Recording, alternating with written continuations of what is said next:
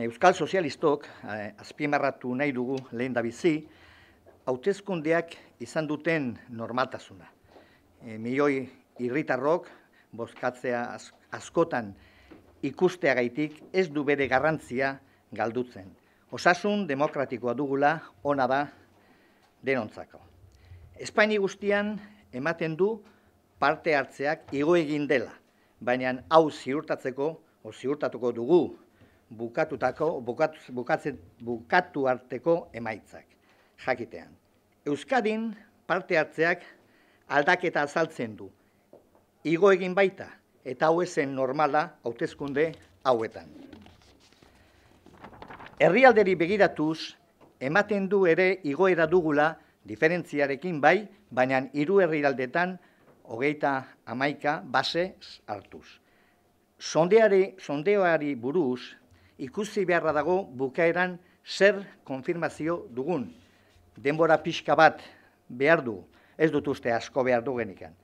Botoak asko dira, milioika, eta eskainoak norentzak diren aldatu liteke ziurtasunez sondeoak diotenarekin. Orain arte, hau esango dugu. Eskerrik asko.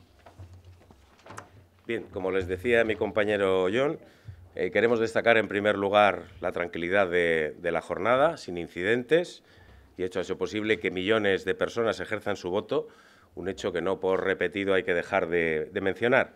Y queremos manifestar también nuestra satisfacción por ello y por los porcentajes de participación, que a la espera de los resultados definitivos, cuando comencemos a tener los datos oficiales, eh, se ha registrado un incremento de participación en toda España, también en Euskadi, y eso demuestra el interés extraordinario que despiertan estas elecciones, el interés por la política, que lejos de lo que apuntaban algunos está muy vivo y se ha demostrado también hoy. Al contrario de lo que ha ocurrido en otras ocasiones, la participación en Euskadi en esta ocasión ha estado por encima de la participación del resto de España, cosa que no ocurría en otros procesos electorales, y por lo tanto se acredita que también aquí, en Euskadi, existe un enorme interés por la política nacional, por decidir a quienes preferimos para que nos gobiernen en los próximos cuatro años. No es esta tampoco una comunidad que solo se mueva en claves nacionalistas.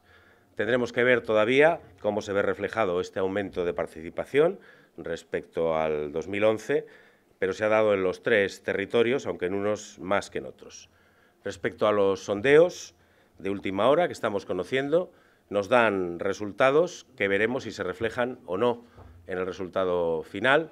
Es evidente que será el recuento de los votos y en esta ocasión probablemente eh, con más importancia que en otras ocasiones, dado la presencia de cuatro partidos y en la que una pequeña eh, décima, arriba o abajo, puede hacer variar el resultado final de los sorteos. Eh, por lo tanto, la valoración definitiva se hará cuando conozcamos un porcentaje significativo de datos oficiales, porque el volumen de datos de votos a escrutar es muy grande y la atribución de escaños es evidente que sufrirá variaciones a lo largo de la noche. Eso es lo que les podemos contar hasta hoy y muchas gracias.